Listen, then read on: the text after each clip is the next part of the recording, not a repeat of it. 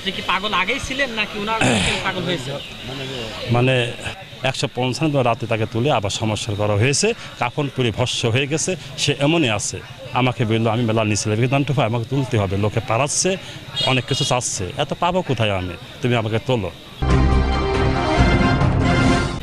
হ্যাঁ, ঠিক আছে। আপনার নাম লালটু পাগল। লালটু পাগল? হ্যাঁ। আর কি? আপনার বাড়ি কোথায়? কুষ্টিয়ার। কুষ্টিয়া কোথায় কুষ্টিয়া চোরহাস সোরহাস। আপনি নেটের সাথে যোগাযোগ আছে? মানে মোবাইল আপনার না হ্যাঁ মোবাইল আছে লোকাল মোবাইল আছে। আচ্ছা, নাম্বারটা বলেন। Zero seven three two zero seven three six zero seven three two five eight one eight five two. আপনি এই যে আবুল বাসা হ্যাঁ এরা কি কতদিন ধরে উনিশ বছর। উনিশ বছর। আপনি কি পাগল আগেই ছিলেন নাকি উনার পাগল হয়েছে মানে পাগল ছিলাম না। ছোটকাল তো এই পথে ঘুরি কিন্তু মালিকের ইচ্ছায় ওনাকে পেয়েছে আমি। তার মানে সঠিক মানুষ পেয়েছেন? সঠিক পুলিশ পেয়েছে। ব্যাখ্যা বলেন কেমন পেলেন? দেখা যাচ্ছে আমি আসছিলাম আমার দেহের অসুখ নিয়ে তার কাছে। একটা অসুখ নিয়ে। তা আসতে বলল যে তোমাকে আমি খুঁজছি বহুদিন ধরে। তোমার সাথে আস্তে আস্তে আস্তে আস্তে কথা বলতে বলতে বলতে বলতে আধ্যাত্মিক দেখার পরে আমার মনে হলো ইনি একটা সঠিক মানুষ এবং নাইবের আসল মনে হলো আমার কাছে কারি মানুষ। তারপর থেকে এনার সাথে আমার এই যোগাযোগ চলছে এবং আছি বর্তমান থাকব ভবিষ্যতে থাকব। আপনার গলায় তাবিজ কেন?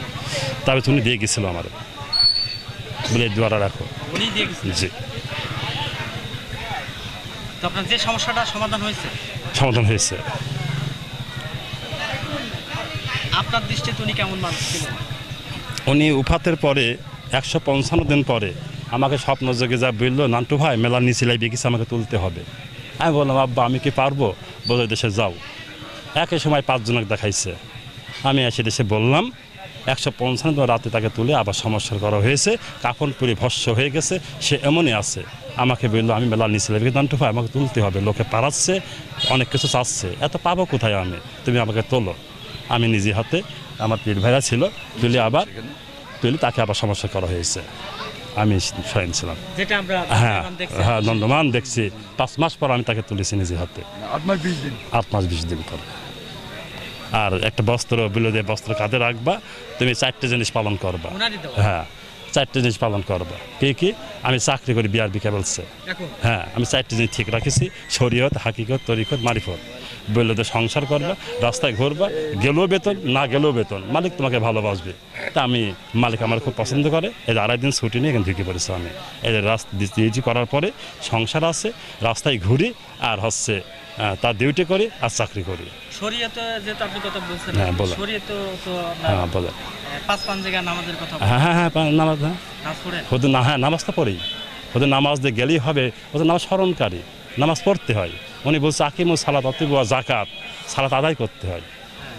এটা আমি আমাকে সে যেভাবে শিক্ষা দিয়েছে এলমে সিনা সিনা হইতে সিনা।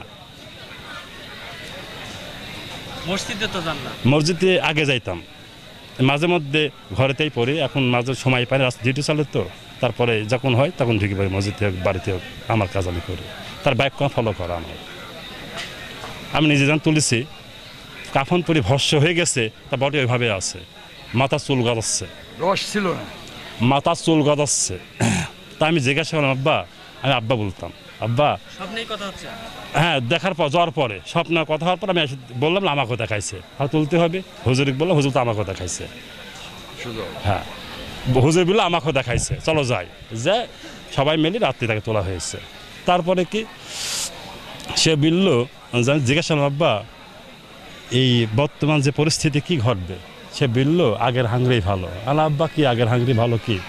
বলল, জামাত তখন ক্ষমতায়, বিএনপি জামাত। বলে আগের হাঙ্গরি ভালো। পরে নৌকা ক্ষমতা আসলো। আলা আব্বা, শেখ হাসিনা ক্ষমতা আসছে? তে বলল যে, তুমি আমার কথা বলবা। এইটা আমার বলার সুযোগ হয়নি। বলে আমার কথা যা তুমি বলবা কেন? বলল যে, ওই যে নিয়ে আসলো উনি? বলল, আগের হাঙ্গরি বললাম, আব্বা, জামাতের কারণে থাকতে পারছে না। যে কী করব? এটা তো এই মা বিয়ার মা বিয়ার চক্রে নামাজও পড়ে বোমও মারে। এটা কোন ধর্ম করে? তো বলল যে তুমি নৌকা আবার ক্ষমতা আনব। উনি আনার পরে বলল যাবা তুমি। শেখ হাসিনা বলা পাগল নিয়ে আসছে। আমি যাওয়ার সুযোগ পাইনি লবিং করতে পারিনি যাওয়ার পরে। বলল যে আমার কথা বলবা যে আমার বাপ পাঠাইছে। মানে সে বলছিল আমাকে। সে বলছিল তাকে দরকার।